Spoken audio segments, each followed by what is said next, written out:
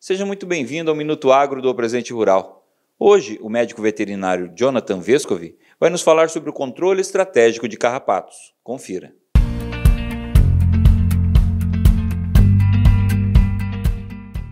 Olá, meu nome é Jonathan Vescovi, sou médico veterinário e vou estar comentando hoje sobre o controle estratégico de carrapatos.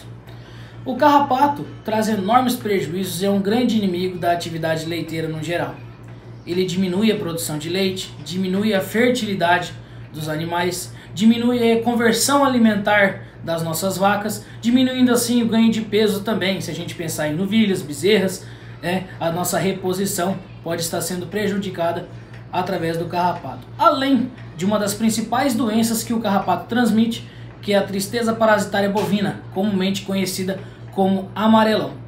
Para que nós possamos controlar o carrapato, nós temos que entender do ciclo dele, que é aproximadamente 21 dias que ele se fecha. Nós temos que atuar quando nós temos uma temperatura e umidade desfavorável para os carrapatos. Por exemplo, é agora, saído do inverno e começo da primavera, é onde nós temos uma baixa infestação nas fazendas, um baixo número de carrapato nas fazendas, e aí sim a gente consegue fazer um controle estratégico, consegue controlar muito bem os carrapatos. Porque apenas 5% da população de carrapatos está presente nos animais.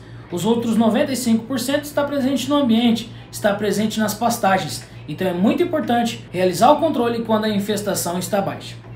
Então, outra coisa que o produtor tem que conhecer, que ele tem que compreender, é qual o tipo de produto que vai ser eficaz contra o carrapato da sua propriedade.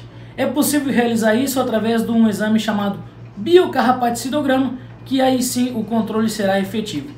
Também o produtor tem que entender qual que é a infraestrutura que ele dispõe na propriedade, como por exemplo, é uma bomba costal, o produtor tem uma câmara atomizadora, um chuveiro de aspersão, né? Ou o produtor tem uma banheira de imersão, que é onde o animal entra e toma um banho com o produto carrapaticida, ou se ele vai utilizar um produto puron ou mesmo um produto injetável, né? Vamos citar alguns exemplos de produtos Produtos Puron, temos a Flumetrina, temos Fluazuron, produtos injetáveis, a Doramectina e também produtos de banho, a gente pode utilizar aí como princípio ativo o Amitraz. Pensando nisso, né, é o ideal é que o produtor faça de 4 a 5 aplicações, de 4 a 5 tratamentos, conversando com um veterinário responsável da, da propriedade para que se adeque o melhor manejo de acordo com a sua propriedade. Um outro ponto que é muito importante o nosso produtor entender e, e tentar realizar é o controle da entrada de novos animais na propriedade. Verificar se os animais não estão sendo infectados para que a gente não traga novas infestações de carrapatos para dentro da propriedade ou mesmo um risco de transmissão de doenças como o amarelão já citado. Também é importante eliminar animais de sangue doce que a gente comenta sempre, que são os animais que sempre são os, os primeiros animais a apresentar os carrapatos. Selecionar geneticamente os nossos animais para os que têm uma menor incidência de carrapatos.